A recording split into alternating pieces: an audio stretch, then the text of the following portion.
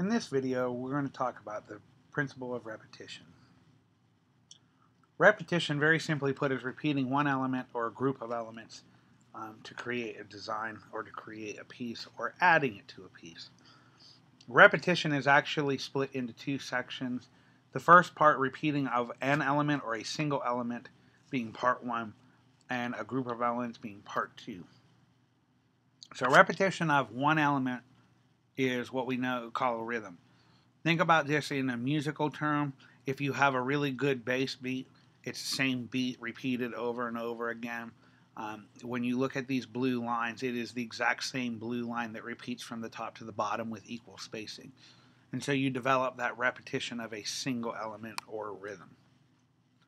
You can also have pattern, and this is the repetition of a grouping of elements.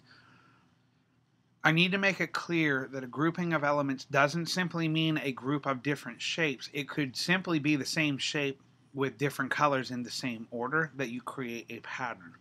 So you have a pattern here set up not only in shape but also in color. And not only by the shapes and colors how they are, but how they alternate to the second column and to back to the third column. So you have that red crescent, green circle, red crescent, and we repeat that the whole first column. Then I flip those colors in the middle column, and then I flip them back in the third column. And so it's not only that grouping of the three shapes, the two crescents and a circle, that are repeated throughout that create a pattern. It's the way that I did the coloration as well.